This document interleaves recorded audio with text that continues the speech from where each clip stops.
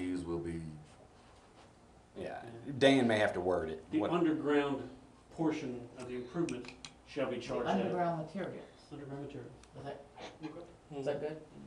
Yeah, I guess. But I mean, you do have a little bit out of the ground because it's gonna go up a pole, but Dan can word it to where, We understand what we're talking about. We're not charging you for the pole, for the transformer to Correct. sit on the cross arms.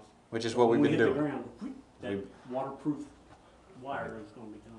Which to be honest is, uh, digging the trench. What do we No, charge? no labor, no labor. just. Okay, so I'm gonna put underground right there, and then you finish with that. So Dan just needs to word that however. No labor cost charged to the customer for underground service. Overhead underground primary extensions. Now, this is, uh, out in the country. Uh, you know that big piece of property that's across from, uh, Peanut's house, next to Jim Hood? Yep, Ninety acres. All right, that's our lines going out there, and, and I've got to check the territory, but I think, let's just use that example and make an assumption without looking at the territory map, that that would be in town, okay?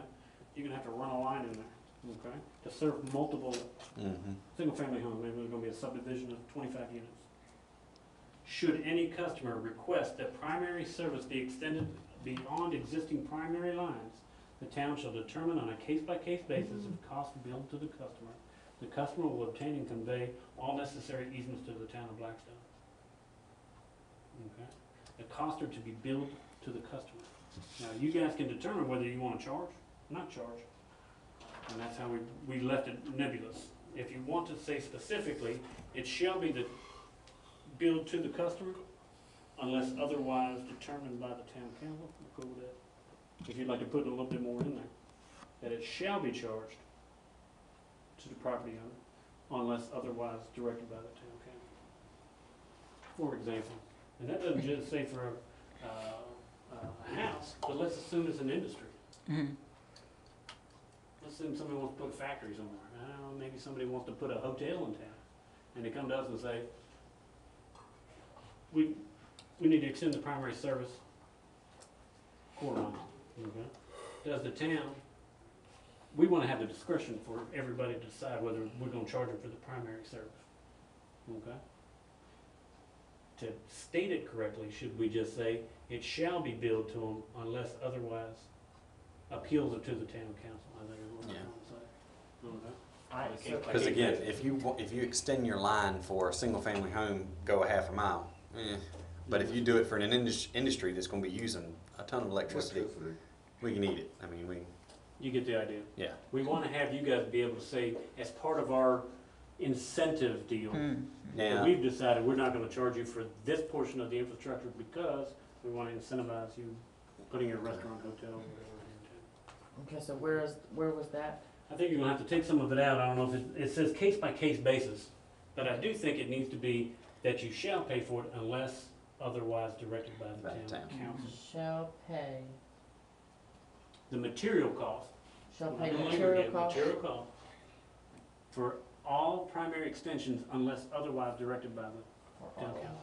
primary extensions, That makes sense to you? That's what we're trying to say. We want to have the ability to say, yeah, we're gonna have a two hundred and fifty person employer in town and we really wanna do, well, it's prohibitive to build two hundred thousand dollars a line or a hundred thousand dollars Yeah. in project. S- For instance, what we have been fighting with Southside Electric at the town shop for the Gravit And project. their policy is, Two hundred and fifty thousand dollars is what you it's gotta gonna pay cost. for the primary extension.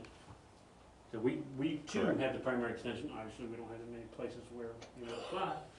But it gives you the ability to sit down and say, no, we don't want to Right. do this. okay, so shall pay material cost for all primary extensions unless Otherwise directed by the town council. otherwise. Oh, you know that's contagious. Y'all cool with that? Yeah. We do. And it is advertised for a public hearing. Do you need to read anything else? That was it. No? Oh, the necessary easements to the town, okay. They gotta give us the easements of it. At their cost. Mhm. Oh, Lord. Is there a, Oh. perhaps a motion to recommend that to council? So moved. Second. I'm gonna ask the mayor to refer something to you guys that I assume would come to y'all, it's called pole attachment fees. I'm gonna use Tessie to help me get them, my research on them indicates that we may be saddened by some of that.